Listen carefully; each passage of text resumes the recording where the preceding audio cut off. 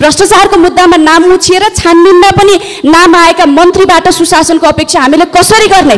यो बारे पनि सरकारले हामीलाई स्पष्ट पारिदियोस्। जब जब नीति निर्माताहरूको व्यक्तिगत लाभ प्राथमिकतामा आउँछ तब जनताको सेवा गर्ने जिम्मेवारी गौर बनिदिन्छ। कन्फ्लिक्ट अफ इन्ट्रेस्ट भएका व्यक्तिहरूलाई मन्त्री बनाउँदा सुशासनको अवस्था कस्तो होला? दुई ठुला दलको तेत्तिस प्रतिशत भनेको बाइसको दुई हुँदो रहेछ। तपाईँहरूको गणित कमजोर हो कि नियतमै खोट हो?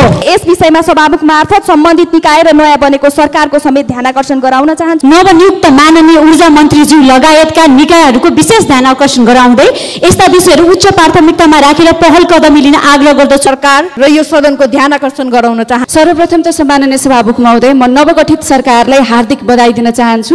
म मेरो व्यक्तिगत तर्फबाट र मेरो दलको तर्फबाट म सफल कार्यकालको शुभकामना व्यक्त गर्न चाहन्छु। प्रधानमन्त्री सफल हुनु भनेको देश नै सफल हुनु हो। त्यसैले यो कार्यकालमा प्रधानमन्त्रीज्यू र सरकारले गरेका समृद्धिका मुद्दामा सुशासनका मुद्दामा हाम्रो तर्फबाट पूर्ण सहयोग रहने नै छ। तथापि भ्रष्टाचारका मुद्दाहरूमा भने हामी निर्मम भएर हाम्रो पुरानै शैलीमा हामी खरो उत्रिने नै छौँ। तसर्थ अबको सशक्त प्रतिपक्ष भएको नाताले सरकार गठनको प्रारम्भमै सरकार गठनको सैद्धान्तिक जगबारे हाम्रा केही जायज जिज्ञासाहरू छन् चासोहरू छन् त्यो म यहाँ प्रस्तुत गर्न चाहन्छु। सभामुख महोदय मध्यरातमा दुई ठुला दलहरूले सम्झौता गरेर पुरानो सरकार ढलेर जुन नयाँ सरकार गठन भएको छ राजनैतिक सिद्धान्तमा एकदमै दुईटा अपोजिट पोलमा रहेका दुईटा ध्रुवमा बाँडिएका दलहरू एकै ठाउँमा जम्मा भएर दल गठन भएको छ। यो सामान्य कुरा होइन माननीय सभामुख महोदय। यो सम्झौता किन र कसरी भयो? त्यो सम्झौता पारदर्शी होला। एक मिनट करिब सिद्धिएको छ। सुसूचित गरियोस्। जनता र नागरिकलाई सुसूचित गरियोस् सभामुख महोदय। त्यस्तै नवगठित सरकारले समावेशितालाई हेर्ने दृष्टिकोण के हो? यसमा बा यो बारे पनि हामी जिज्ञासा राख्न चाहन्छौँ। किनभने अहिलेको मन्त्रीमण्डलको स्वरूप हेर्दाखेरि संविधानले सुनिश्चित गरेको महिलाको प्रतिनिधित्व त्यहाँ देखिएको छैन त्यहाँ झल्किएको छैन दलितको प्रतिनिधित्व त्यहाँ शून्य छ। समावेशितालाई कसरी हेरेको छ सरकारले? यो बारेमा पनि सरकारले हामीलाई जानकारी दियोस्। त्यस्तै गरी यो सरकारले स्वार्थको द्वन्द्वलाई कसरी हेरेको छ? कतिको संवेदनशील भएको छ? मन्त्रीले आफ्नो व्यवसाय मिल्ने प्राधिकार ग्रहण गर्न मिल्ने कि नमिल्ने? सरकारले यो विषयमा पनि हामीलाई जानकारी दिनुपर्ने हुन्छ। त्यस्तै यो नियामक निकायमाथिको राजनैतिक हस्तक्षेप र त्यहाँमाथिको रजगजबारे सरकारको धारणा के छ? यो बारे पनि सरकारले प्रारम्भमै स्पष्ट पारिदियोस्। भ्रष्टाचारको मुद्दामा नाम उछिएर छानबिनमा पनि नाम आएका मन्त्रीबाट सुशासनको अपेक्षा हामीले कसरी गर्ने? यो बारे पनि सरकारले हामीलाई स्पष्ट पारिदियोस्। हाम्रो गम्भीर चिन्ताको विषय हो।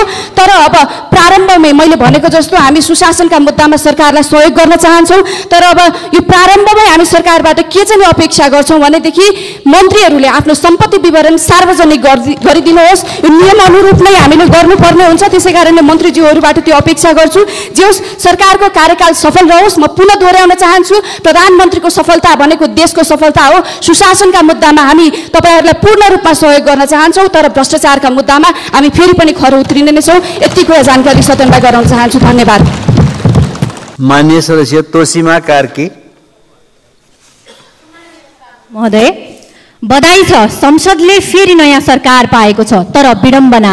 दुई ठुला दल मिलेर बनेको सरकारको जम्बो मन्त्री टोलीमा जम्मा दुईजना महिला मन्त्री अटाउन सकेछन्। आधा आकाश ढाक्ने महिलाको प्रतिनिधित्व पचास प्रतिशत हुनुपर्नेमा तेत्तिस प्रतिशत चाहिँ हामी अनिवार्य गराउँछौँ भन्ने यी दुई ठुला दलको तेत्तिस प्रतिशत भनेको बाइसको दुई हुँदो रहेछ। तपाईँहरूको गणित कमजोर हो कि नियतमै खोट हो? महिला अधिकार कहाँ गयो? संविधान र लोकतन्त्रको मूल्य मान्यता कहाँ गयो? भाषणमा समावेशिता भनेर कहिले नथाक्ने हाम्रा नेताहरूले व्यवहारमै सरकारको नेतृत्व तहमै क्याबिनेटमै दलित समुदायलाई सम्मानजनक स्थान किन दिएनन्? जब जब नीति निर्माताहरूको व्यक्तिगत लाभ प्राथमिकतामा आउँछ तब जनताको सेवा गर्ने जिम्मेवारी गौर बनिदिन्छ।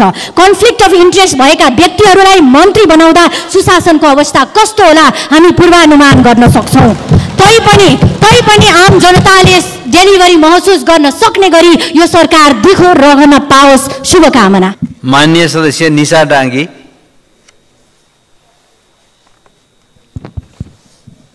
सम्माननीय सभामुख महोदय सुरक्षित सडक पूर्वाधारमा अर्थपूर्ण लगानी गरौँ भनेर हामीले सुरुदेखि नै आवाज उठाइरहेका थियौँ।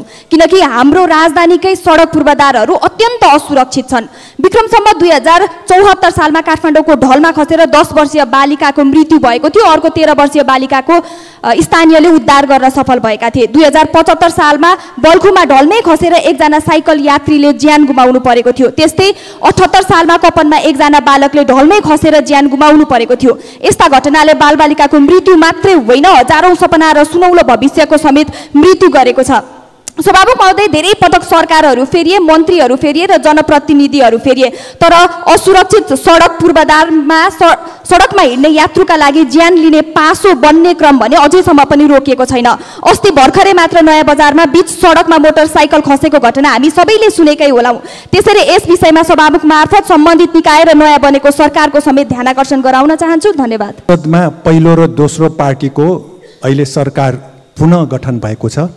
यसले यी दुवै पार्टी एउटै त्यागको त्रिशूल र खुकुरी पुनः साबित भएको छ। भन्सारमा खरबौँ रुपियाँ चुहावट कतिपय म्यान पावर र सहकारीमा ठगी महँगी नियन्त्रण भ्रष्टाचारीलाई कारबाही युवालाई स्वदेशमा रोजगारी स्वास्थ्य र शिक्षा निशुल्क खाद्यान्नमा आत्मनिर्भर सार्वभौमिकता रक्षा विपद व्यवस्थापनमा सरकारले जोड दिने अपेक्षा गर्दछु। यसअघि कसबाट हो धोका पाएकाहरू अहिले एक भएका छन्? अब जनतालाई धोका दिने काम यो सरकारबाट नदोहोरियोस्। धन्यवाद। जलनका अनेकौँ कारकहरू छन्।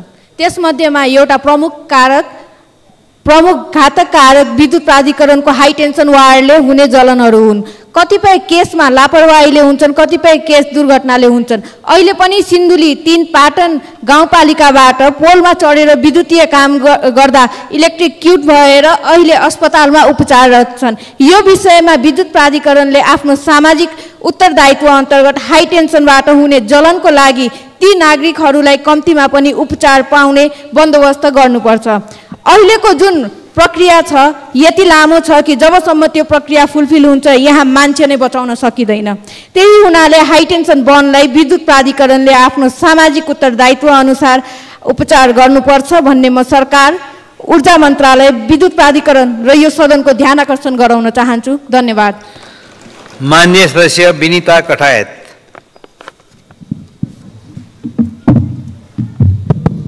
सम्माननीय सभामुख महोदय कर्णाली लगायत देशका धेरै गाउँहरू अझै पनि अँध्यारोमै छन् र त्यहाँका नागरिकहरूले बिजुली पर्खेर बसेका छन्। बनिसकेका सडकहरूका बिचमा बिजुलीका पोलहरू यसरी ठडिएका छन् कि मानव ती पोलहरूले दुर्घटना पर्खेर बसेका छन्। यता विद्युत प्राधिकरणको वार्षिक प्रतिवेदनले भन्छ यति बिजुली विदेश निर्यात गऱ्यौँ उति नाफा गऱ्यौँ बिजुली विदेश निर्यात गर्नु नराम्रो होइन संस्थाले नाफा कमाउनु पनि नराम्रो होइन। तर त्यो देशका धेरै गाउँ बस्तीलाई अँधारोमै छोडेर विदेश निर्यात गर्नु के राम्रो हो र?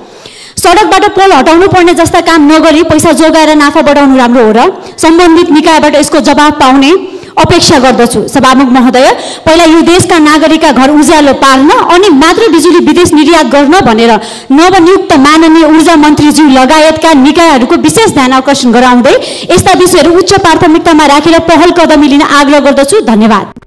तपाईँ अहिले हेर्दै हुनुहुन्छ। Colour of Nepal. चौबिसै घन्टा ताज़ा खबरका लागि हामीलाई सब्सक्राइब गर्न नभुल्नुहोला।